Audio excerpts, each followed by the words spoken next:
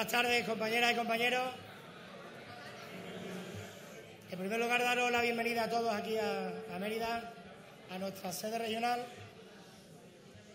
Y bueno, quien diga que el Partido Socialista ha venido a quedarse para unos meses nada más, pues que mire la sala esta y que luego lo cuenta a los medios de comunicación. Que no nos vamos a ir, vamos, por mucho que lo diga el señor Torrano, no vamos a ir del gobierno. No nos vamos a ir.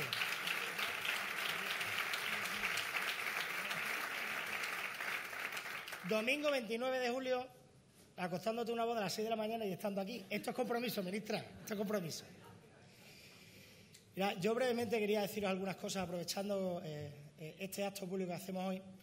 Y es que mm, en, el, ADN de los socialistas, de todos los que estamos aquí, del 99% de los que, de los que militamos en este partido, eh, por encima de las responsabilidades, por encima del compromiso, hay un valor que yo quiero destacar, que es la vocación, la vocación de servicio público. Podría poner cientos de miles de ejemplos. Hace, hace unos días hemos hecho un esfuerzo entre las distintas administraciones en esa vocación de servicio público para poner a disposición instalaciones y recursos para atender la crisis eh, migratoria que estamos sufriendo. Y digo eso de la vocación porque en un tiempo en el que parece que las decisiones en política no tienen nada que ver unas con otras, yo creo que la vocación hay que premiarla, ministra, y aprovecho a decírtelo hoy que estás aquí. No puede ser que después de lo que vimos el otro día en el Parlamento, de lo que, han hecho, a un gobierno que lo único que quiere hacer es poner en orden y facilitar que los ayuntamientos, las administraciones tengamos más posibilidades para hacer más cosas para la gente. Hay algunos que estén pensando más en su plurito personal que lo que le interesa al país, o le interesa a las comunidades o a los ayuntamientos. Así que yo la reflexión que hago es la siguiente. Si hay algunos que están pensando solo en ellos y no están pensando en el conjunto del país y los ciudadanos, ¿por qué no se les dice a los ciudadanos que aquellos partidos donde están gobernando que no representan los intereses de los ciudadanos no tendrán el respaldo del Gobierno? Y hay que hacerlo así. Suena crudo, pero yo creo que hay que hacer esa reivindicación. La gente tiene que saber que las decisiones en política tienen, consecuencias. Y tienen consecuencias, y yo pido hoy aquí que las consecuencias sean para aquellos que estamos poniendo y anteponiendo los intereses de la sociedad civil, los intereses eh, de, las, de las ciudades por encima de las de los partidos. Y además lo hacemos con el compromiso con el que los socialistas siempre hemos defendido y con nuestros valores. Y me preocupa mucho que mm, antes las ofensas que recibíamos los socialistas siempre eran en los bares, ¿no? Y siempre, cuando íbamos a los actos de campaña, decíamos hay que salir fuera a explicar el proyecto, hay que salir fuera a decirle a la gente lo que estamos haciendo y no hay que callarse.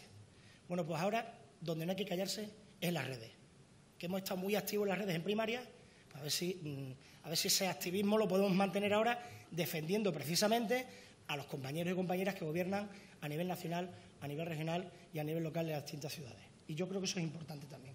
No callarse allí donde estamos defendiendo lo que creemos de verdad. Así que yo espero y deseo, eh, ministra, que, mm, que, a pesar de las dificultades que están poniendo aquellos que se consideran de izquierda, pues yo de Ciudadanos y del PP no espero nada. Si alguien espera algo del Partido Popular y de Ciudadanos, está confundido. Ningún gesto, ni siquiera los gestos de responsabilidad que nosotros hicimos. Y lo hicimos porque creíamos que teníamos que hacerlo. Eso no lo esperemos de ellos. Responsabilidad cero. Pero lo que sí hay que poner en evidencia es que aquellos que dicen que llegaron aquí para cambiar la sociedad, la forma de hacer política, aquellos que decían que tenían otra manera de hacer las cosas, de pensar, es decir, también se alineen en esa posición. Así que estamos en un momento ya de pre-campaña electoral. No sé cuánta gente hace actos un domingo 29 de julio por la mañana y lo tiene así, salvo las escuelas de verano esas que se montan para ahí en Santander y, en esos sitios, ¿no? Y además de vacaciones tres días, porque luego de política no hablan. Así que vamos a aprovechar que estamos ya en, en el ocaso el día 30 de agosto, dentro de un mes, tenemos la comida de la Feria de Mérida, como siempre, el pistoletazo de salida en campaña, y allí nos veremos para ponernos las pilas porque lo que nos queda por delante es ganar las elecciones autonómicas y municipales y apoyar al Gobierno de España para que cumpla el compromiso de agotar la legislatura, porque va a contar con la mayoría de los ayuntamientos, con la mayoría de los compañeros y compañeras que están en todas las administraciones. Así que ánimo y adelante y muchas gracias por estar aquí.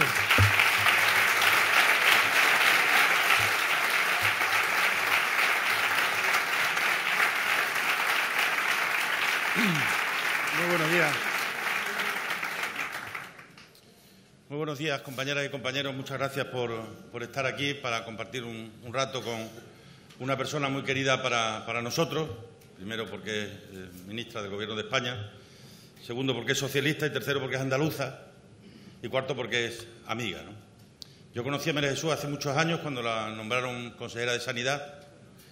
Eh, venía de dirigir eh, uno de los hospitales más complicados de, de dirigir por su tamaño, que era el Virgen del Rocío de Andalucía, de Sevilla.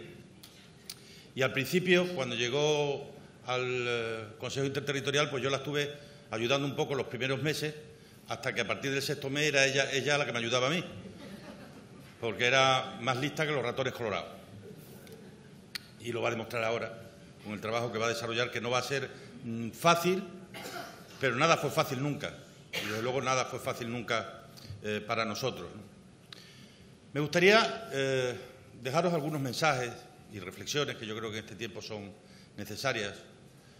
Una de ellas es que eh, la política en España ha cambiado. No la intentemos ver con los ojos del pasado, porque nos vamos a encontrar una política diferente a la que hay. Y a veces tengo una cierta sensación como que la nostalgia hace que una parte de los españoles miremos a la política con, con ojos del pasado, con ojos de grandes mayorías, en ojos de todo perfectamente determinado y preestablecido, no. Tenemos lo que los españoles han querido, que son mayorías inestables, que para conformar mayorías estables hay que negociar. Entonces no queramos que esté todo atado y bien atado cuando la realidad electoral hace que los ciudadanos hayan apostado por un modelo diferente al que había hace 15, 20 años en nuestro, en nuestro país o en nuestra región. Por tanto, huyamos de las conclusiones precipitadas a lo largo de estos días ha venido, hemos venido oyendo mucha conclusión precipitada. El PSOE se ha quedado en minoría. ¿no? El PSOE se habrá quedado en minoría en una votación, pero que la semana que viene habrá otra, y en el mes de septiembre habrá otra, y el mes de octubre habrá otra. Esa es la política donde el Parlamento adquiere un especial protagonismo, como ocurre aquí, porque no existe mayoría. Y la mayoría hay que conformarlas. Y entonces lo que habrá que trasladarle bien claro al conjunto del Parlamento es que hay que negociar cada cosa, hay que pelearse cada medida pero lo que vaya a ocurrir no está escrito. Entonces, para todos esos agoreros que ya establecen o predicen lo que va a ocurrir, se equivocarán, se equivocarán, porque la política al final siempre es capaz de dar la respuesta que los países necesitan, cuando hay alguien que lidera ese proceso. Y nosotros estamos liderando la salida de España de una situación de tremenda dificultad, porque no lo olvidemos, la moción de censura no es la consecuencia de un capricho, la moción de censura es la consecuencia de un deterioro que produce la corrupción en el partido que estaba gobernando este país. Y esa es la realidad.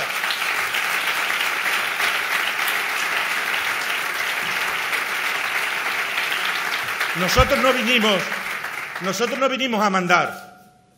Nosotros vinimos a hacernos cargo de las expectativas de una gran parte de este país que no estaba conforme con lo que estaba ocurriendo que no querían que la cara de España, que la cara de su gobierno fuera una cara escrita con palabras de corrupción. Y esa es la realidad, amigos y amigas. Por eso no nos, no nos eh, arruguemos, que nos solemos arrugar con alguna facilidad. No nos arruguemos, porque hemos hecho lo que este país necesitaba. Y antes o después tendremos la posibilidad de decir en las campañas por qué hizo cada uno lo que hizo. Lo más cómodo, cinco días antes había estado aquí nuestro secretario general, y habíamos estado trabajando en el horizonte del año 2020, eso hubiera sido lo cómodo. Quedarnos en nuestros cuarteles de invierno, dejar que esto se fuera deteriorando, se siguiera deteriorando, que llegaran las sentencias de octubre, que llegaran las sentencias de noviembre, que llegaran las sentencias de enero, el país cada vez peor con un gobierno lastrado por el peso de la corrupción.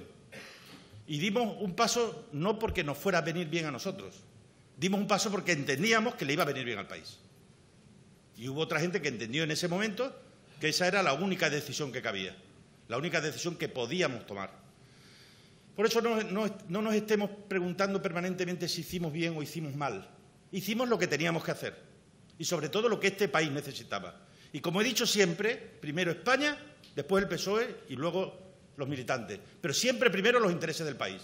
Y pusimos los intereses del país por encima de cualquier otra consideración y encima pusimos lo mejor de nosotros mismos al servicio de esa idea, que es un gobierno de hombres y de mujeres, de mujeres y de hombres capaces de darle a esto una vuelta y convencido que estoy absolutamente de que así será.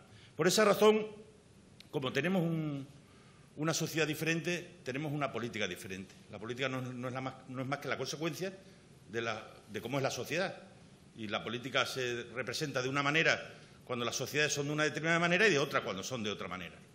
A mí cosas que me sorprenden, cuando algunos dicen, dicen, no, es que el PSOE se va a dedicar solo a los gestos. Y pregunta, ¿y qué son los gestos? Y resulta que los gestos son que la gente no se muera en el mar. Le llaman gestos a la vida. Le llaman gestos a la vida. Resulta que los gestos son que la gente pueda enterrar a sus muertos. Resulta que los gestos son la dependencia, preocuparse por los que más sufren y por los que más lo necesitan. Resulta que los gestos son transitar desde una cultura del carbono hacia una cultura de renovables. Bueno, pues a todo eso hay gente que le está llamando gestos. Es decir, ser capaces de prepararse para lo que nos viene, hay algunos que entienden que son gestos. ¿Sabéis por qué? Porque todos esos que entienden que todo esto son gestos, para ellos la política solo son perras.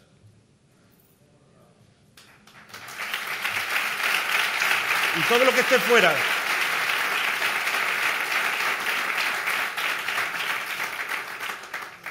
Y todo lo que está fuera eh, de, lo, de lo económico parece como si no existiera, pero si no hay nada más esencial y justo que saber dónde vamos a destinar los resultados de que la economía vaya razonablemente bien y tener las ideas claras para redistribuir esa riqueza y para que pueda llegar a todas partes.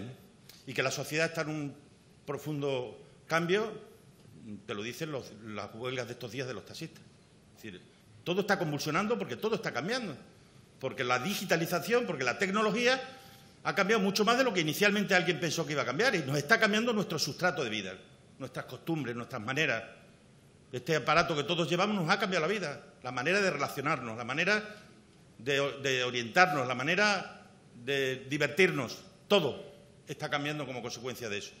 Y de eso depende quien tenga la capacidad, y esto lo puedo asegurar que no tiene nada, nada que ver con la edad, quien tenga la capacidad de saber que el futuro no sabemos cómo va a ser, pero sabemos cómo no va a ser, y no va a ser como fue el pasado y no podemos, por tanto, juzgar el presente con los ojos del pasado, porque nos estaremos, nos estaremos eh, equivocando.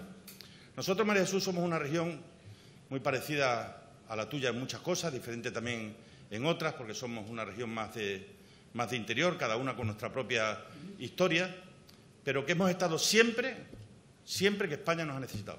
Y ahora también vamos a estar.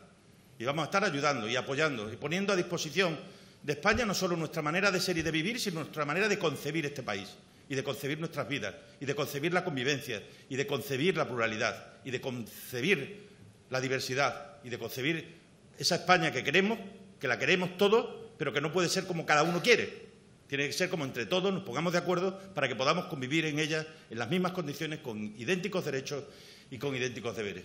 Por eso desde aquí siempre decimos, a nosotros no nos importa cómo se, quiera se quieran llamar los demás, a nosotros nos importan los derechos y los deberes. Somos la única comunidad autónoma que en su estatuto de autonomía dijo que los derechos y deberes de los extremeños eran los deberes y derechos de los españoles. Y remitíamos a la Constitución nuestro catálogo de derechos y de deberes, porque teníamos bien claro y tenemos bien claro que lo que nos hace grandes, que lo que nos hace fuertes es todo aquello que une y no todo aquello que separa.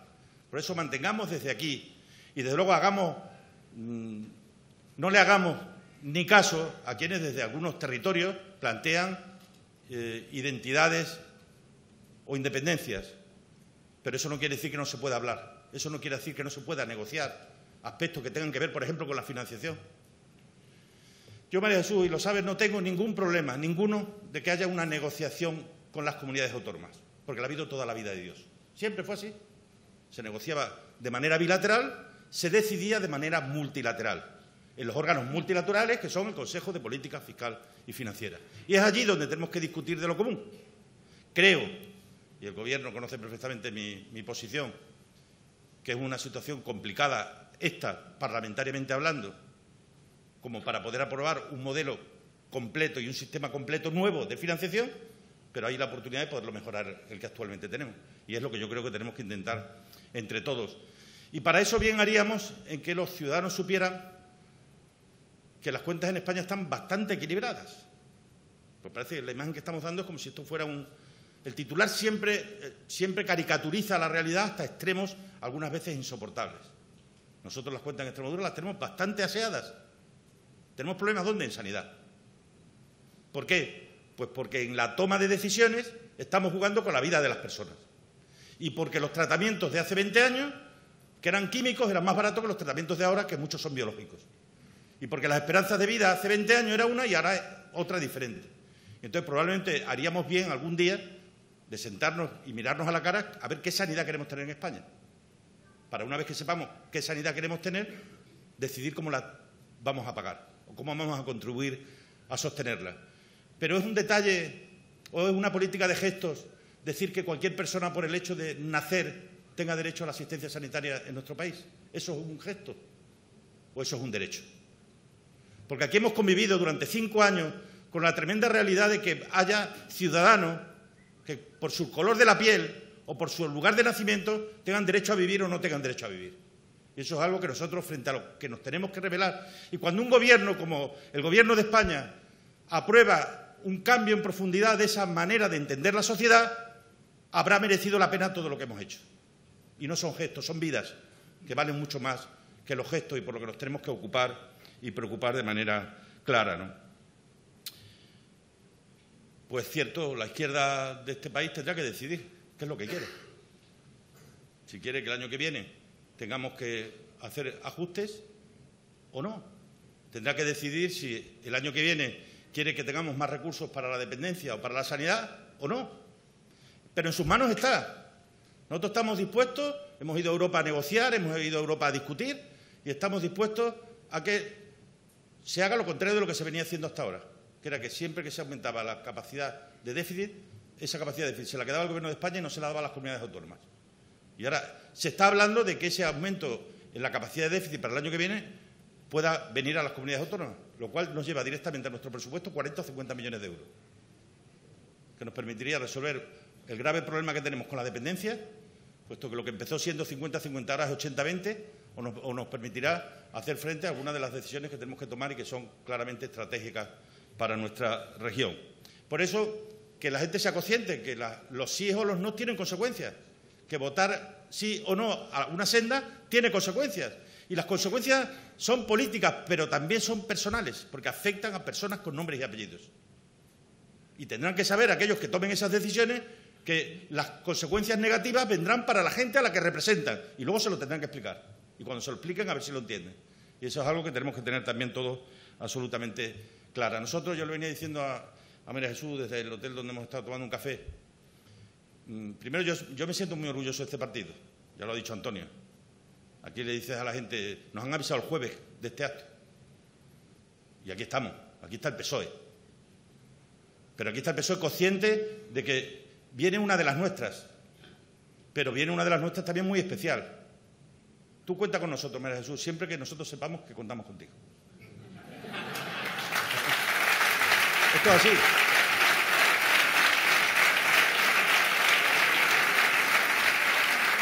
Pero yo le decía, le decía a María Jesús que yo en la manera de, de, interpretar mi acción de gobierno, yo me siento más alcalde que presidente. Es decir, a mí lo que de verdad me gustaría es ser alcalde de Extremadura más que presidente. ¿no?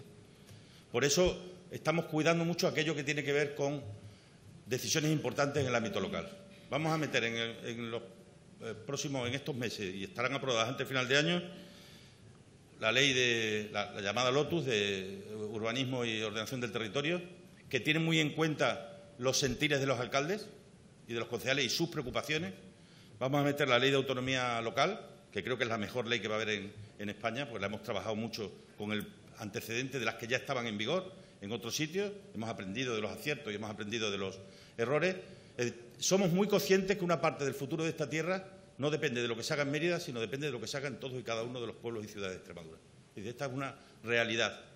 Ese, acuerdo, que creo que es imprescindible y que plantearé este año, en el Día de, Extremadura, eh, como un elemento mm, nuclear en estos momentos, que es lo que nos preocupa de la demografía y la despoblación, eh, tiene que ser la suma de muchas acciones. Tiene que ser la suma de muchas actuaciones de manera multinivel, además, a todos los niveles de gobierno, pero sobre todo a todos los niveles del territorio. Somos, además, os lo puedo asegurar, un verdadero ejemplo de colaboración entre los ayuntamientos, las diputaciones eh, y la Junta de Extremadura. Estamos desarrollando proyectos que son la consecuencia de que no nos hemos ido a mirar el ombligo a ver de quién dependía, sino a buscar la solución del problema que la gente tenía y darle y buscarle la solución adecuada para intentar encontrar la respuesta que muchas personas están esperando de, nosotros. Le oí decir hace unas semanas en Madrid a, Obama una cosa muy, muy curiosa y decía, estamos todos obsesionados siempre con el grado de preparación eh, de la política y de los políticos, con eso que se llama la tecnificación de los, cargos, con eso que se llama la, la, preparación. Y decía, dice, yo los problemas más gordos que me he encontrado en mi vida nunca fueron técnicos, siempre fueron humanos. Nunca fueron técnicos, siempre fueron humanos. Los graves, los más graves, necesitan corazón y sentimiento. Luego preparación también. Pero no seamos, seamos conscientes de que para andar por este mundo complejo de la política, lo primero, los sentimientos. Lo primero, la voluntad. Lo, primero, la empatía. Lo primero, si me permitís que digo, la ternura. Hay que ser tiernos con la gente a la que representamos. Hay que ser empáticos porque estamos aquí por algo esencial y, que es lo que le da la, razón de existir a la política, representar sus aspiraciones vitales. Se levantan un domingo por la mañana, cogen un carnet de identidad y una papeleta en la que está tu nombre, no para votarte, sino para votarse a ellos mismos, porque creen que votándote los estás representando y estás representando sus expectativas y estás representando sus intereses. El nombre que está allí es el suyo, a través de los nuestros. Y eso es esencial que no lo olvidemos nunca. Y que esa persona que llama a nuestra puerta es la misma que se levanta el domingo 24 de mayo por la mañana a poner una papeleta, una urna y lleva tu nombre. La misma. No olvidemos esto y nos volvamos a acordar cada cuatro años. Porque es la mejor manera, es la mejor forma de que eso no lo olviden nunca. Cuando a mí me llamó el compañero Pedro para formar parte de su gobierno, solo le di esta respuesta. Le dije que no pensando en la gente que fue el domingo 25 de mayo del 2015 a votar con una papeleta que tenía mi nombre puesto. Y a eso no se le puede fallar. A eso no le podemos fallar. Porque esos son los que nunca nos fallan. Los que nunca nos fallaron ni en los peores momentos. Siempre estuvieron ahí y siempre están ahí. Son los que te agarran la mano en el pueblo, los que te cruzan en la ciudad y te dan el ánimo. Que valen mucho y pesan mucho más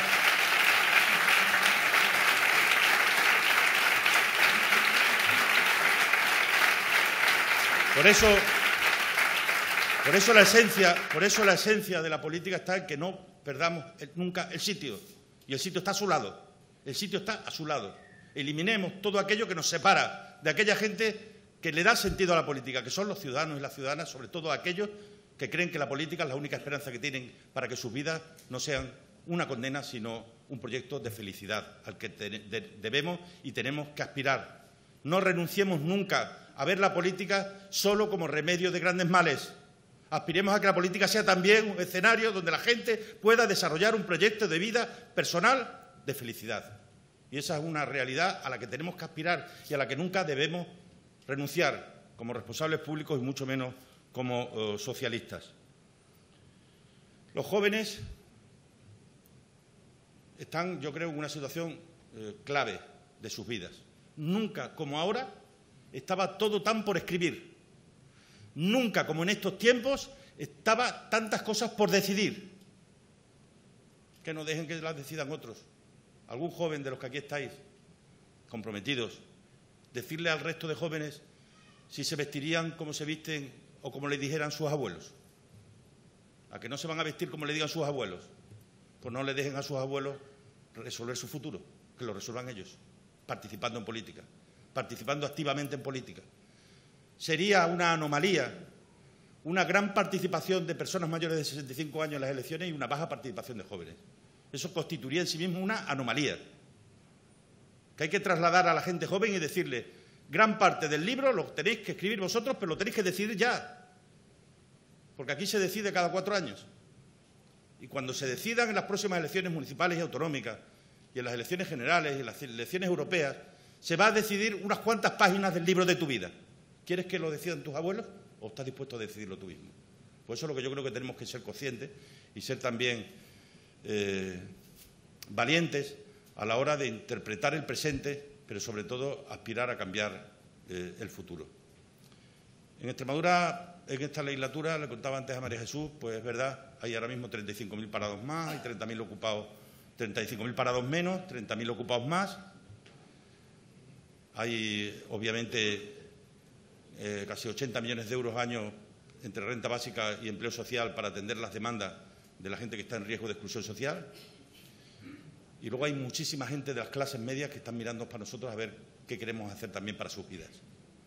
O sea, cuando tomamos la decisión de que la matrícula universitaria, el, estudiante que apruebe se vaya ganando sus propias gratuidad de matrículas en el futuro a, a través de sus aprobados en el primer curso, eso es un mensaje no para los chicos que ya no pagan porque tienen becas, sino para toda una gran parte de la sociedad que no es rica, que vive con su salario, pero que está por encima de los topes de beca y que necesita también saber que su gobierno, que sus gobiernos se ocupan y se preocupan de sus problemas.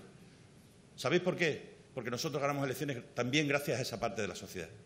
Para alcanzar mayorías, y os lo dije hace tiempo y os lo repito ahora, vamos a trabajar para ganar las próximas elecciones con mayoría absoluta en Extremadura.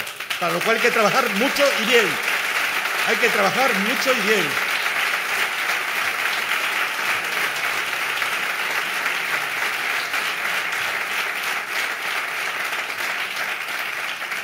Para lo cual hay que trabajar mucho y bien y trabajar también para ganar en todos y cada uno de nuestros pueblos y ciudades.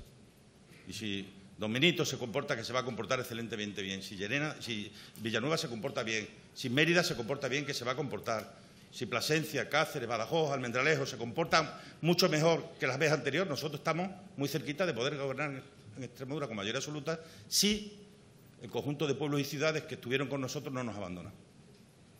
Y por eso tenemos que ser conscientes de lo importante que es para la estabilidad. Mirad, hoy las cartas se están repartiendo de nuevo, ya me lo habéis oído en los últimos meses en varias ocasiones, con toda claridad. Yo estuve el lunes en Madrid en dos reuniones con empresas que ya no buscan eh, otra cosa que no sea estabilidad política, seguridad jurídica, los papeles a tiempo y ya no te vienen preguntando cuánto dinero le vas a dar, sino cuánto tiempo vas a tardar en tenerle los papeles medioambientales urbanísticos arreglados. Y eso es lo que tenemos que hacer porque esa, eh, estabilidad política que dan las mayorías, que, dan el que no haya... ¿Por qué creéis que yo no respondo o que no contesto en muchas ocasiones cuando se nos falta o cuando se nos insulta o cuando se nos denigra? Porque no quiero que haya bronca ni quiero que haya crispación. Porque la bronca y la crispación huye, hace huir. Cuando entra la bronca por la puerta, sale la estabilidad por las ventanas. Y, y vivimos en una economía libre de mercado. ¿eh? Si queréis algún día discutimos si, cambiamos el modelo. Pero mientras no se demuestre y no se ha demostrado que haya un modelo mejor que el de la economía libre de mercado, el, de un capitalismo sometido a unas normas que permitan la redistribución de la riqueza a través de los impuestos y que permita la redistribución y la obligación de derechos y deberes que no dependa de las cuentas corrientes de la gente, tenemos que ser perfectamente conscientes que eso implica estabilidad y seguridad jurídica. Y eso es lo que intento también a veces cuando hay compañeros y compañeras que dicen que no respondes a no sé qué, no respondo porque eso genera crispación y la crispación genera inestabilidad. Y nuestra obligación es trasladarle a la ciudadanía que estamos aquí para desarrollar un proyecto de justicia y de igualdad. Desde mayorías estables que sean capaces de venir de la mano de los ciudadanos y ciudadanos que nos compren este, esta idea, que nos compren este, esta manera de entender la sociedad. Y si deciden lo contrario, ahí estaremos para negociar, como hemos estado en esta legislatura, aprobando leyes con uno, leyes con otros, presupuestos con uno, presupuestos con otros, renunciando a tus presupuestos de máximos porque los ciudadanos no te los dieron. Y si no te los dan, tienes que renunciar a tu presupuesto de máximos. Por esa razón, compañeros y compañeras, mucho ánimo a trabajar, a estar muy cerquita de la gente, a no olvidarnos nunca que no hay cosa más importante en la política que saber que hay pueblos de Extremadura donde allí en algún rincón de la casa hay una foto del padre o de la madre con tu secretario general o con tu presidente o con tu eh, presidenta, eso no hay nada como eso, porque no hay nada que te obligue más y nada que te ayude más a superar las grandes dificultades que surgen en el día a día que saber que hay gente que confía en ti aunque no te lo diga nunca, pero que están allí sabiendo de que están contigo, de que te están eh, apoyando siempre, porque saben que eres de alguna manera la esperanza que ellos tienen para que su vida pueda ser de una determinada manera diferente a como estaba a como estaba prevista por lo que la historia le había reservado. Mucho ánimo a todos, muchas gracias por estar aquí esta mañana y, os dejo con probablemente una de las personas clave en el devenir de los próximos meses y años de nuestro, de nuestro país, porque está sentado en un, en un sitio difícil. Ser consejero de Hacienda en un país, el decirle a la gente que hay que pagar impuestos para que pueda haber redistribución de la riqueza y para que los que no tienen puedan aspirar a, niveles de dignidad en su vida, pues no es, no es cómodo ni es sencillo, ¿no? Pero para eso han puesto pues, a una andaluza valiente, sobrada de conocimiento y de, y de experiencia y, sobre todo, y lo vais a comprobar, muy ilusionada con la oportunidad que de nuevo los españoles y las españolas nos han dado para poder gobernar eh, este país a través de sus representantes en el Congreso de los Diputados. Nada más y muchas gracias.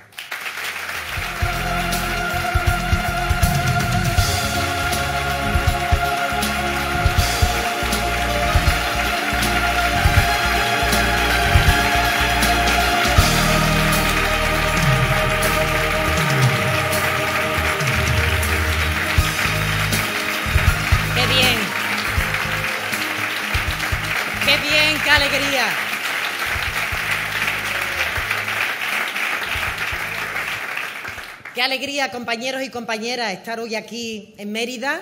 El primer acto político que tuve como ministra fue en Extremadura, a, bueno, a los dos o tres días de que, de que tomara posesión del cargo. Vengo nuevamente a Extremadura y lo que queda por venir. Auguro que vayáis a hartaros de mí. Voy hasta aquí cada vez que Guillermo me llame. Os lo advierto. Muchas gracias, lo decía Antonio, y efectivamente, eh, la viveza del partido, la capacidad de que los hombres y mujeres siempre están disponibles, con cuatro días, con cinco días, sabemos que a la llamada de que es necesario que mostremos lo que creemos, que demos explicaciones, que traslademos ilusión, que contagiemos el ánimo, siempre uno busca lo que no tiene de tiempo para poder estar con los compañeros y compañeras, contagiarnos, tocarnos y ser capaces de compartir aquello que nos permite ser más fuertes, porque cuanto más fuerte sea este partido, más ilusión y más esperanza podremos llevarle a la gente.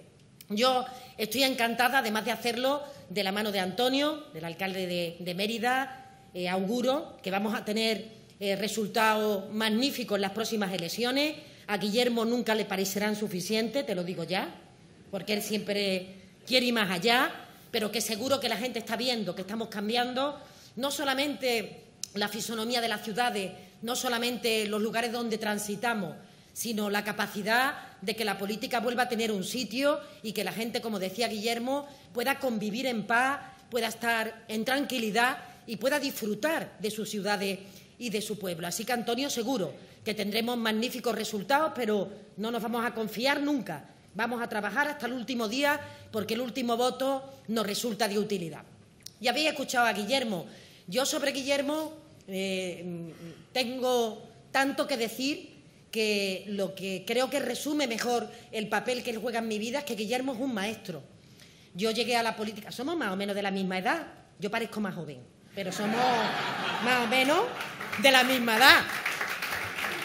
No, somos más o menos de la misma edad, tenemos la misma profesión, ambos somos médicos y efectivamente nos hemos conocido y nos hemos encontrado en la batalla, que es donde se fraguan las verdaderas amistades, en el compromiso, en la política, en la trinchera, en los lugares donde se discute la vida de la gente. Yo siempre he observado mucho a Guillermo para aprender de él y hoy, y cuando me tomo eh, un café, cuando nos tomamos una cerveza, eh, sigue ejerciendo ese papel de maestro, de persona experimentada, de persona que es capaz de equilibrar los intereses generales de la gente, que se siente tan extremeño como español y lo ha llevado siempre a gala y nos une algo tan importante para ambos como es el sur. Nos une un sentimiento de hermanamiento entre Extremadura, Andalucía, que es la tierra de donde yo vengo, que no ha entendido nunca de frontera, ha entendido de sufrimiento, ha entendido de dolor, de saber levantarse, de saber mirar al futuro con optimismo y, sobre todo, hombres y mujeres que siempre hemos peleado porque nuestros hijos, nuestras hijas, tengan un futuro mejor del que tuvieron nuestros padres y del que hemos tenido nosotros, en términos de empleo, en términos de sanidad, en términos de educación o en términos de conquistar un futuro que nos es tan absolutamente importante. Yo cuando vengo aquí, lo dije la otra vez y cada vez que entro en Extremadura así lo siento, yo creo que me siento en casa. Esto es casa. Esto es el lugar en donde os veo las caras, veo la forma de ser y es donde yo me siento a gusto.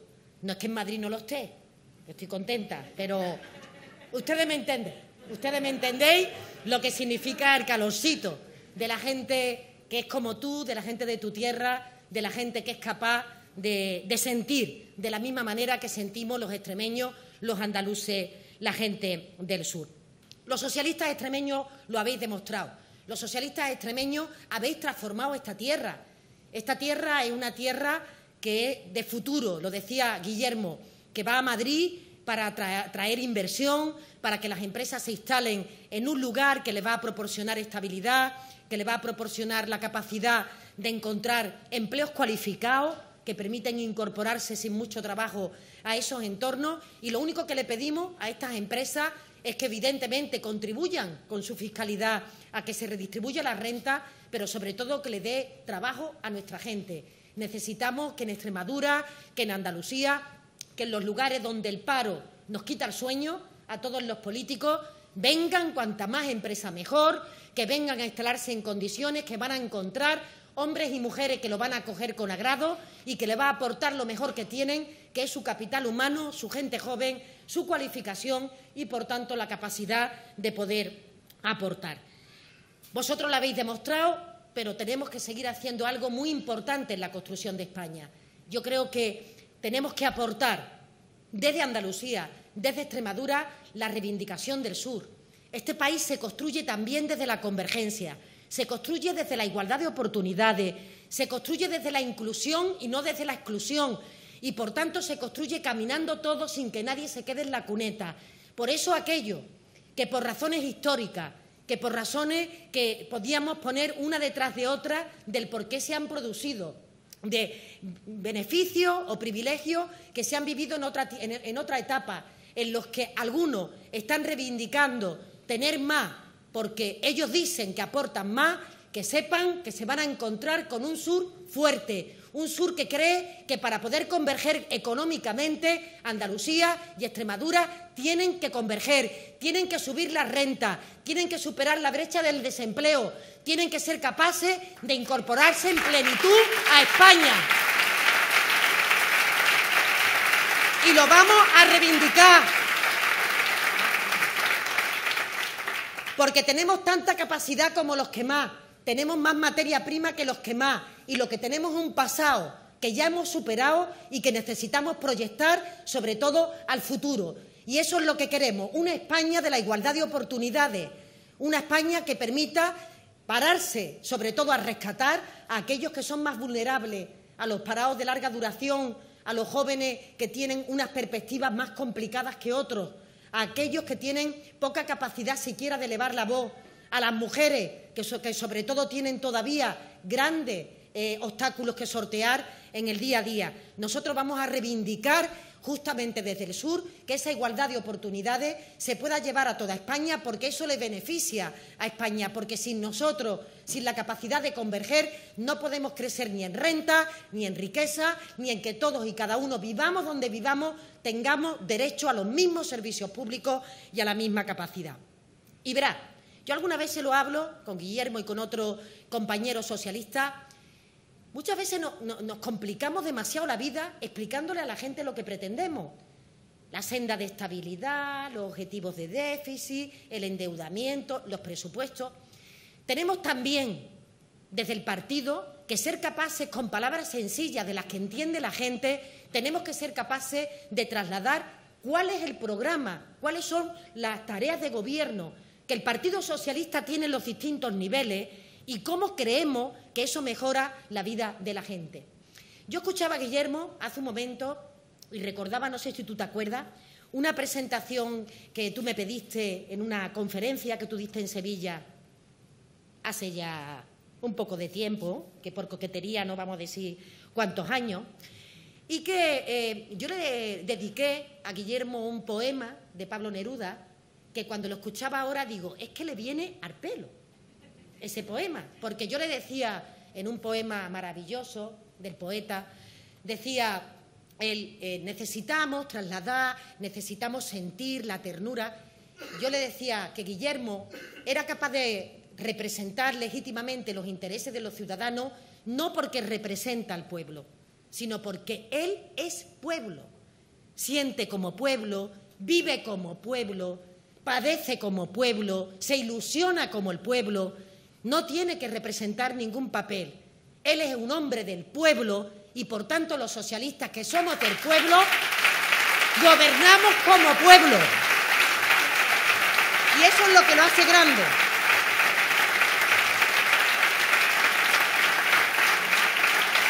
Gobernamos, gobernamos como pueblo. Por tanto, no tenemos que hacer ninguna tarea impostada de esto que hacen algunos de la derecha para intentar ver lo que la gente siente y decirlo en el discurso. No, si a nosotros la gente nos para por la calle, cuando vamos a nuestras casas nuestro cuñado está parado, nuestro hijo tiene dificultad de incorporarse al empleo, el abuelo está preocupado por la pensión y el ruido sobre las pensiones a veces es que a mí me la van a quitar. Es que nosotros vivimos eso en el día a día. No nos lo tiene que contar nadie, sino que cuando nos reunimos en una agrupación o estamos aquí, que levante la mano el que tiene el futuro asegurado o tiene en el banco un dinero que le olvide o que le permita inhibirse de lo que ocurre en el mundo. Es que ninguno de los que estamos aquí nos encontramos en esa situación. Por tanto, nosotros no tenemos que fingir nada. Nosotros representamos lo que somos y, por tanto, cuando llegamos a los gobiernos sabemos lo que tenemos que hacer. Y decía él que soy una mujer ilusionada. Estoy contentísima. Estoy muy ilusionada. Creo que el gobierno que representa a Pedro Sánchez, el triunfo de la moción de censura, le devuelve la dignidad a este país Ahora la gente está contenta, dice hacerlo bien, os vamos a prestar nuestro apoyo, conectar con la sensibilidad de la gente. No os olvidéis de aquellos que lo están pasando peor, confiamos en vosotros. Eso nos dice la gente por la calle, os lo dice a vosotros seguro, que estáis cada uno en la puerta del colegio, cuando vais a recoger a los niños, en la empresa, cuando estáis en el bar, cuando paseáis por los pueblos, en casa de los familiares, os dice la gente, oye, este gobierno parece que es otra cosa, ¿no? Este gobierno parece que es capaz, le estamos devolviendo la ilusión a la gente, que es lo único que no le podemos arrebatar y que nos arrebató el Partido Popular. La posibilidad de tener esperanza, la posibilidad de ilusión, bajo el no se pueden hacer otras cosas. Esto es lo que hay. Esas palabras tan repetidas por el presidente Rajoy y por mi predecesor, este de Montoro, que yo, con esto del chiste, Montoro, Montero, que estoy del chiste. Estoy ya del chiste. Porque claro, el primer día, ¿no? Pero es que es fundamental el cambio de una letra. Pues sí, mire usted, es fundamental el cambio de una letra en el apellido. Fíjate quién, quién no lo iba a decir. Pero esa ilusión hay que canalizarla y tenemos que ser capaces de convertirla en realidades, en cosas que la gente toque, que sean tangibles. Por eso, el Gobierno de Pedro Sánchez, del presidente, cuando llegó a la Moncloa, se propuso dos objetivos fundamentales. Y eso lo hemos ido trabajando en este mes y medio que llevamos en el Gobierno, que parece que hace ya un montón de tiempo, porque nos ha cundido, que se dice en nuestra tierra, ha cundido. Dos objetivos fundamentales. El primero, y lo decía también el presidente, devolverle la dignidad a la política. La política era una política que para los ciudadanos no tenía ningún tipo de utilidad, ningún tipo de validez. Una política que estaba protagonizada por personas que tenían alta sospecha de estar comprometidas por activa o por pasiva en casos de corrupción, cuando sabéis que la corrupción es lo que más nos aleja en la política de los ciudadanos. ¿Y a quién le interesa que la política esté permanentemente en tela de juicio? ¿A los trabajadores? ¿A la clase media? ¿A los que tenemos solo el voto para poder cambiar la vida a la gente? No, a nosotros la gente de bien, los trabajadores, nos interesa que la política ocupe el lugar que tiene que ocupar en la vida de la gente, se perciba como el instrumento. No es que sea un instrumento, es el instrumento que tenemos la gente humilde para cambiar la vida de todo porque el voto del rico vale lo mismo que el del pobre y cuando se meten en la urna son indistinguibles, lo que nos hace a todos iguales de las pocas cosas en la vida, en la que hoy podemos decir que somos iguales. Cuando depositamos el voto, se confunden ahí. Ahí en la urna no se sabe quién ha participado con una y otra opción. Por eso tenemos que movilizar a los que están fuera Aquí, los, que somos del partido, simpatizantes, amigos, tenemos que movilizar a los que están fuera, porque no nos podemos permitir el lujo de que los intereses económicos sean los que digan para dónde tiene que ir España. Tenemos que ser aquellos que representamos, porque somos pueblo, los que tenemos que decidir hacia dónde caminamos y cómo caminamos. Y el simple triunfo de la moción de censura es una dignificación de la vida política, es un basta ya.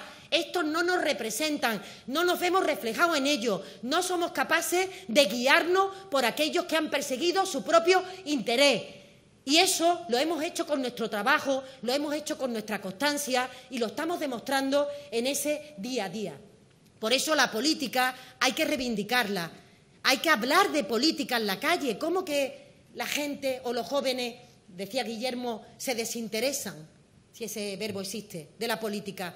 ¿Cómo puede ser que algo que es las reglas de convivencia en las que las personas somos capaces de ponernos de acuerdo o de pactar los desacuerdos, ha llegado un momento en que ha supuesto una barrera? Parece que hablar de política es hablar de algo que no tiene interés, y cuanto más cuando uno está prestando un servicio público y se dedica a la política. Nosotros que somos médicos de profesión, ¿verdad? Cuando uno dice que es médico, como que se dignifica. Cuando dice que es político, la gente dice, uff, eso no puede ser porque no nos podemos dejar arrebatar el único instrumento que tiene la izquierda para cambiar la vida de este país. Por eso hemos hecho una moción de censura democrática, valiente y difícil. ¿Quién ha dicho que el terreno era fácil? ¿Alguno, quizás cuando se ha propuesto altas metas, se ha encontrado el camino despejado? Aquí, a Extremadura, nos van a decir que el futuro es difícil, Guillermo, a hombres y mujeres, generaciones y generaciones que a pesar de todas las circunstancias que hemos vivido, de los palos en la rueda que nos han puesto, nos hemos levantado siempre, una y otra vez, sabiendo que podíamos pelear por un futuro mejor, por un mundo mejor, sabiendo que el momento concreto no podía ocultar el horizonte que teníamos por delante. A nosotros no nos van a dar lesiones de cómo un pueblo se levanta y es capaz de seguir caminando a pesar del sacrificio y a pesar de los dolores. Por eso el Gobierno que actualmente rige el destino de España, desde el primer momento ha sabido que no se lo van a poner fácil. Habéis visto, ¿no? El congreso, el conclave de esto de la derecha que han hecho la semana pasada. Yo escucho el discurso de la regeneración del Partido Popular y yo me quedo muerta. Digo, ¿regeneración? Regeneración es un discurso que lo que reivindica es más derecha, que lo que reivindica es más sectarismo, reivindica, en definitiva, que los intereses de unos pocos estén al servicio del conjunto de la sociedad para que el resto no nos podamos beneficiar. Yo mira que lo he escuchado con atención, digo, bueno, a ver si le encuentro un banderín de enganche, a ver si soy capaz de conectar con alguna idea. Pues yo no sé si el señor Casado eh, representa en su partido un cambio. Lo que sí puedo decir es que el Congreso de los Diputados el viernes votó más de lo mismo y votó la austeridad en primer lugar, en segundo lugar la austeridad y en tercer lugar la austeridad. Recortes, recortes y más recortes. Lo mismo. No se han enterado. El Partido Popular no se ha enterado de qué es lo que le piden los ciudadanos y de qué va esto. Porque lo que ocurrió el viernes en el Congreso de los Diputados, que estaba contando Guillermo, se explica muy fácilmente. Aquí Europa nos pone a nosotros unos objetivos para que nos movamos dentro de ahí. Es como si en tu familia te ponen un salario sobre el que tú te tienes que mover. Perfecto. Ahora va tú a tu jefe y le pide un aumento de sueldo y te dice, bueno, de acuerdo, Mm, un poquito de aumento de sueldo para que puedan ustedes gobernar de una manera que no impida el crecimiento económico. Y ahora vas tú a tu casa, supongamos, y te dice tu gente, ah, no, aumento de sueldo no, tenemos que quedarnos como estábamos antes. Pero bueno, ¿esto cómo es? ¿Pero esto cómo es? O sea, que yo voy a Europa porque resulta que este país no se puede permitir transitar una cuesta tan empinada como lo que tenemos que subir, que tenemos que coger oxígeno que tenemos que ser capaces de tener algo que nos permita que los ciudadanos puedan recuperar derechos que han perdido en la crisis, que podamos revitalizar los servicios públicos, la sanidad, la educación, las pensiones, la dependencia, que podamos ir al rellanito de la escalera y coger un poquito de oxígeno para seguir caminando. Y te dicen, ah, no, es que resulta que no queremos rellanito de la escalera, es que queremos seguir con la cuesta, pim, pim, pim, porque en definitiva queremos ser más austeros que en Europa. ¿Sabéis qué, quiere decir esto? Esto quiere decir que cuando el Partido Popular aplicaba recorte porque decía que se lo imponía Europa, era mentira. Aplicaba recorte porque lo tienen en el ADN. Es su programa. El programa del Partido Popular de siempre. Si me apuráis, más antiguo, más antiguo incluso. Por tanto, con este Partido Popular no podemos esperar ni acuerdo, ni sentido de Estado, como siempre ha hecho el Partido Socialista, ni nada que permita el que podamos avanzar como país, porque siempre le ha pasado lo mismo a la derecha, por moción de censura o por elecciones. ¿Acordáis cuando perdieron las elecciones que, que ellos decían que habíamos manipulado el voto de los atentados? Ellos siempre que pierden el gobierno se creen que como el gobierno es suyo, los demás se lo robamos y por tanto que la democracia consiste en que a ellos los voten o que ellos ocupen los sillones. Cuando se lo ocupan otras personas de otras formaciones políticas, el Partido Popular siempre nos acusa de robo, sea con elecciones o sea con moción de censura, porque creen que el poder es suyo, que le llega de generación en generación. Y por tanto, para todos los demás, para todos aquellos que buscamos en la democracia la forma de cambiar la vida a la gente, estamos acostumbrados a que el Partido Popular desde la oposición jamás ha hecho nada por intentar poner los intereses del país por delante de los intereses del Partido Popular. Ni está ni se le espera. Eso es lo que ocurre cuando el Partido Popular pierde las elecciones. Pero ¿y estos de Ciudadanos? ¿Y estos que venían para representar una derecha alterna. Esto, esto de Ciudadanos, ahora, el otro día en el mismo Congreso de los Diputados, le dije yo al diputado que intervino, digo, pero si ha hecho usted absolutamente el mismo discurso que el Partido Popular, si no se distingue, no ha puesto ni una diferencia sobre lo que ha dicho el Partido Popular. Estos de Ciudadanos también han dicho que quieren más recortes.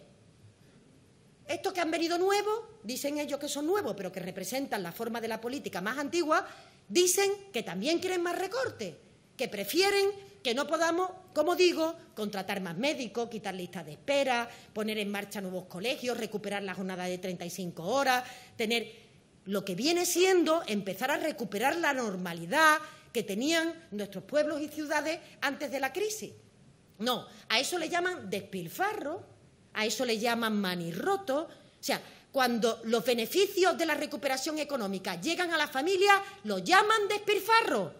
Cuando los beneficios económicos llegan a las empresas, a las grandes empresas, a las grandes multinacionales, lo llaman que la economía va bien. Pero cuando nos toca a nosotros y a nosotras disfrutar de esos beneficios, dicen que somos unos manirrotos. Y por tanto, este partido tiene que ser capaz de demostrar que es posible como estamos demostrando donde gobernamos, en la alcaldía de, Mérida, en, en el gobierno de Extremadura, es compatible el que primero nuestro contrato con los ciudadanos, el primero, que nadie se quede en la estacada, que nadie por razones de renta se vea perjudicado para el futuro. Y segundo, con nuestros socios europeos, porque vivimos en una Europa que tiene que ser fuerte, en una Europa que tiene que construirse de otra manera, una Europa de los ciudadanos que tiene que plantar cara a algunas amenazas económicas como la que protagoniza el señor Trump. ¿Sabéis quién es Trump, no? ¿Acordáis quién es Trump? El americano, este hombre que no sabe uno cuándo se levanta, eh, para dónde va o para dónde viene, pero que, cada vez que estornuda genera una convulsión internacional de tamaño importante. Y este que a veces eh, dispara a Europa en sentido figurado, por ahora, otras veces en sentido no figurado, pero que tenemos que tener una Europa fuerte, una Europa social, una Europa que permita reivindicar los servicios públicos como su principal seña de identidad. Y a eso vamos a seguir trabajando y a eso vamos a seguir contribuyendo. Pero tenemos otra parte de la sociedad que tiene que empezar a tomar partido. Los partidos de izquierda, los partidos nacionalistas del Congreso de los Diputados, para poder aliviar un poco los presupuestos públicos para recuperar derechos de los ciudadanos, tengo que decir que se pusieron de perfil. Tengo que decir que Izquierda Unida, que Podemos, que los partidos nacionalistas, ante si queríamos más austeridad o menos austeridad, se pusieron de perfil y no apoyaron la propuesta del Partido Socialista. Y es mentira que no se negociara. Eh, habíamos hablado hasta la saciedad de las ventajas que tenía esta propuesta. Y por eso en el día de hoy yo apelo a la utilidad de la izquierda, apelo a la responsabilidad, apelo a que hagamos cosas concretas en el día a día para cambiar la vida de la gente, que está muy bien que cada uno tengamos ideas transformadoras que estén en el largo plazo, pero que el problema es que María, cuando vaya al hospital, la atiendan en tiempo y en forma, que nuestro niño tenga un profesor que efectivamente le permita prestarle más atención porque hayamos bajado la ratio, que nuestros mayores, el que tenemos hoy, pueda tener un servicio de teleasistencia porque hayamos sido capaces de que esa austeridad venga menos y nos permita respirar después de una crisis de siete años que nos ha dejado absolutamente exhaustos a esa responsabilidad de la izquierda, desde aquí, desde Extremadura, apelamos hoy. Necesitamos estar unidos. Juntos. Y confío, confío en que seamos capaces de seguir avanzando para hacer cosas importantes en este país. Porque veréis, el gobierno de Pedro Sánchez es un gobierno que, digo el viernes porque fue el último día laborable, pero daría igual cualquier otro día, mientras que estábamos votando en el Congreso de los Diputados la senda de estabilidad, esto de que la, posibilidad de ajustar nuestras cuentas públicas no sea a costa de cualquier cosa, que es lo que estábamos hablando, que no sea a costa de los derechos de los ciudadanos, mientras que votábamos esto, a Dios rogando con el mazo dando. Estábamos en el Consejo de Ministros y Ministras universalizando la sanidad, lo explicaba perfectamente Guillermo, un sistema nacional de salud que ha sido orgullo en Europa y que no queremos que se privatice, no queremos que se siguiera con la hoja de ruta que hizo el Partido Popular,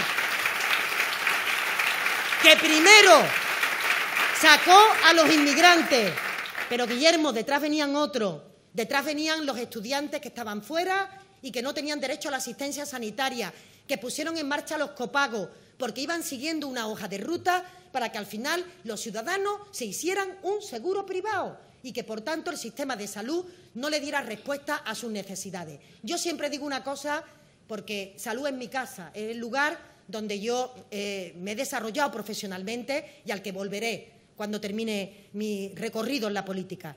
Siempre digo una cosa, la principal garantía que tenemos los trabajadores, que tiene la clase media, de que el sistema sanitario se ocupa de todos por igual es que cuando entramos en la habitación de un hospital, cuando entra el médico, cuando entra la enfermera, en la misma habitación está acostado el hijo del empresario y el hijo del inmigrante. Y se trae la medicación y a nadie se le pregunta quién es el empresario y quién es el inmigrante. Se le pregunta quién es el diabético o quién es el que tiene la tensión alta, no cuánto dinero tenemos en la cuenta bancaria.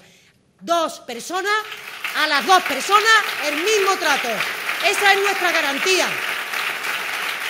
Esa es lo que nos permite ser iguales y lo que nos permite avanzar. Y eso lo estábamos haciendo el viernes, volviendo a convertir la salud en un derecho por el simple hecho de ser ciudadano, no que uno haya cotizado a la seguridad social más o menos, sino el hecho de ser ciudadano. Pero es que estábamos aprobando las becas para este curso, las becas donde las personas más vulnerables, las que tienen menos recursos, iban a tener 10 millones más para dedicar la beca. Y una cosa muy importante, y aquí para obtener la beca ya, un 5, ¿eh?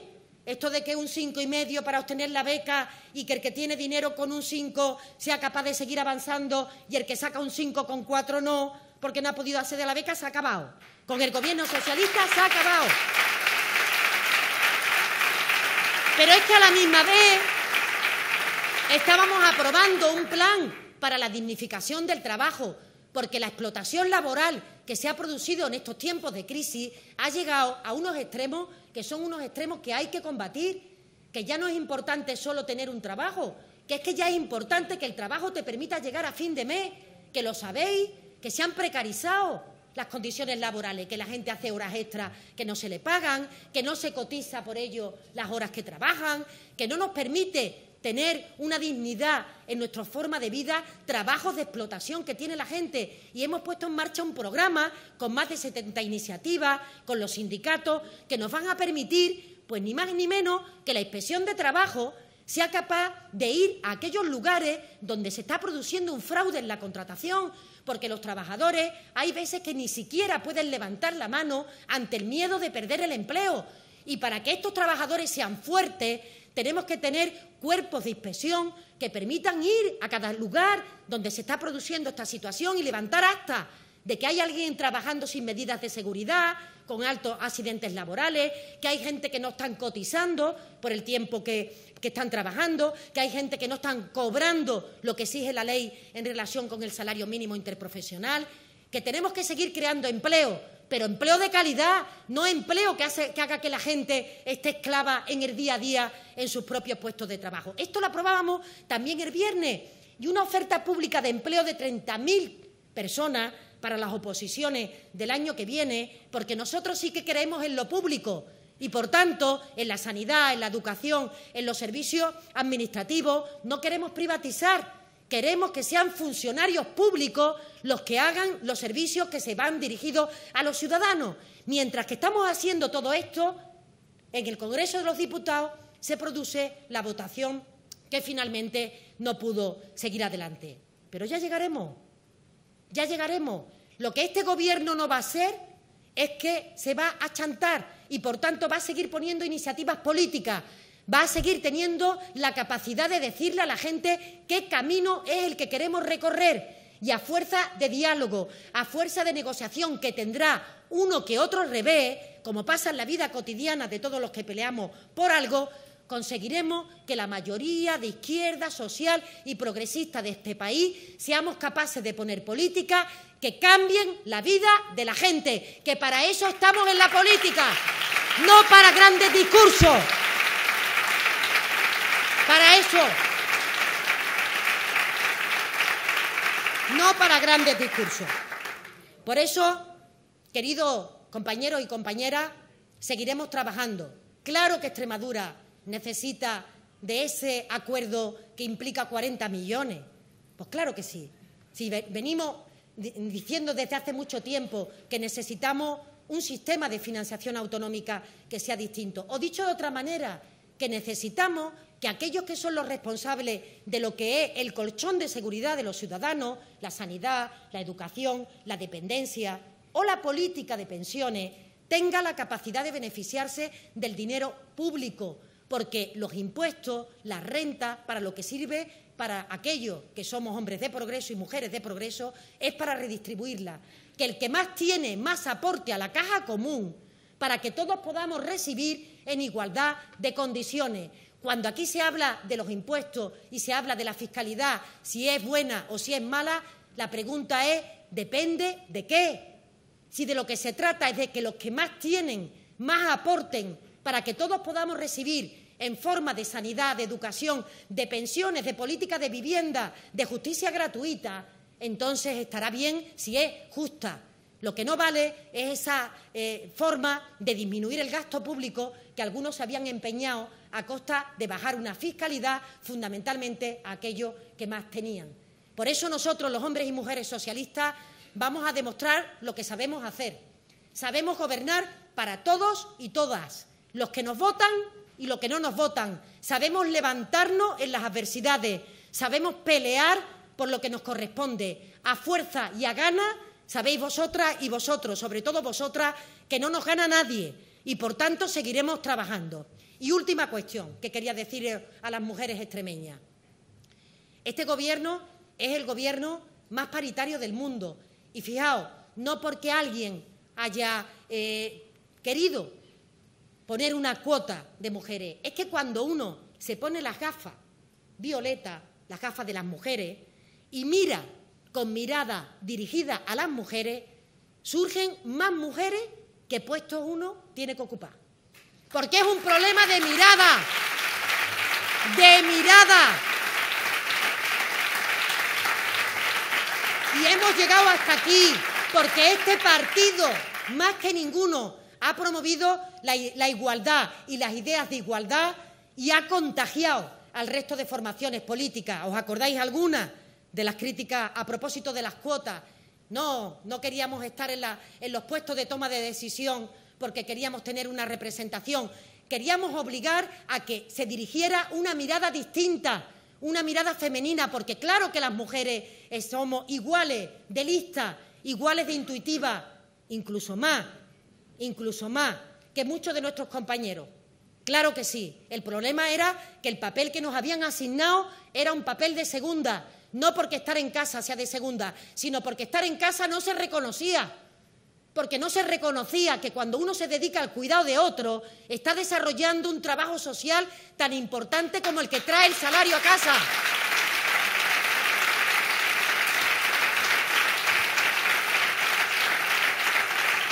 Este país, este país ha cambiado, entre otras razones, y lo que le queda por cambiar, porque cuando hemos ido a las manifestaciones del 8 de marzo, a las manifestaciones por la igualdad, no ha hecho falta, en este caso, convencer a las chicas de que tenían que movilizarse. Qué alegría más grande cuando tú veías a muchachas tan, tan jóvenes, de 15, 16, 17 años, con las abuelas, en una movilización en pro de la igualdad.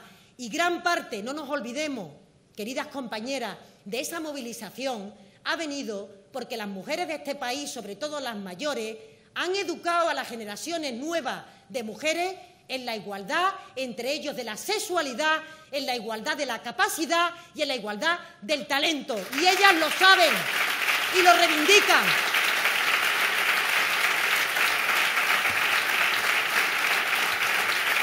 Eso que se nos ha negado siempre, eso que se nos ha negado siempre y que ha sido la forma de cortarles las alas a las mujeres de este país. Por eso, amigas y amigos, nos sobran razones para seguir trabajando. Algunos hablan de la debilidad del gobierno. Cuando un partido tiene proyectos, tiene hombres y mujeres dispuestos a dejarse la piel, tiene a personas dispuestas a levantarse cada vez que las tumban y tienen capacidad de conectar con la ilusión de la gente, este proyecto tiene futuro y se llama PSOE. Así que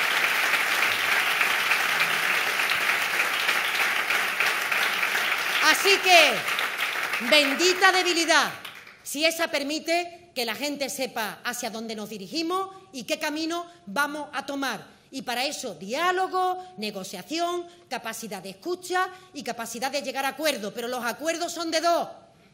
Los demás también tienen que dar un paso para poder llegar a acuerdos. Nosotros estaremos permanentemente con la mano tendida y nos encontrarán trabajando y nos encontrarán con la gente y nos encontrarán defendiendo el bienestar de la gente. Así que, extremeños y extremeñas, os necesitamos. Necesitamos que Antonio, que Guillermo, que Pedro Sánchez puedan desarrollar el proyecto de país que tenemos. Tan importante es el programa de, Mérida como el programa de España. Tan importante el de Valencia como el de Andalucía. Tan importante y más importante en los momentos donde hay algunos que no han comprendido que este país se construye desde la inclusión, no desde la exclusión, que somos capaces de hacer que este país haga que todo el mundo se sienta cómodo, pero eso sí, en igualdad de oportunidades, en igualdad de condiciones, porque no podemos dejar que una parte de España sea distinta a otra parte de España sin más, sin tener ningún otro motivo que el que reivindican algunos que lo que quieren es marcharse de España. Este Gobierno va a pelear porque aquellos que se quieren marchar se quieran quedar en España. Ese es nuestro compromiso. A pelear. Así que a pelear, a contárselo a la gente con nuestras palabras sencillas, en los lugares donde nos encontremos, porque desde ya tenemos que estar conquistando, seduciendo la opinión de la gente. No solamente nos interesa el voto, que también, que también nos interesa seducir la opinión de la gente, que su corazón esté con nosotros, que su cabeza también, porque sabemos hacia dónde nos dirigimos y con qué instrumentos queremos contar. Pero no seremos capaces de hacerlo, por mucho que Antonio, Guillermo, yo misma o el presidente se empeñen, si los hombres y mujeres de este partido, vosotros sois, sois los que estáis conectados con la tierra, sois los que estáis en los lugares en donde podemos participar y sois los que tenéis la voz que permite que los demás conozcan por qué queremos gobernar y qué programa somos los que llevamos. En la medida que este partido esté fuerte, este país será fuerte, los trabajadores serán fuertes y la clase media de este país recuperará la posición que le ha arrebatado la crisis. Por eso no podemos dormirnos un domingo a las 12 o un lunes a las 12 de la noche. Tenemos que estar alerta, disponible, porque la gente de fuera nos necesita. Contamos con vosotros, vosotros también contáis conmigo. Gracias.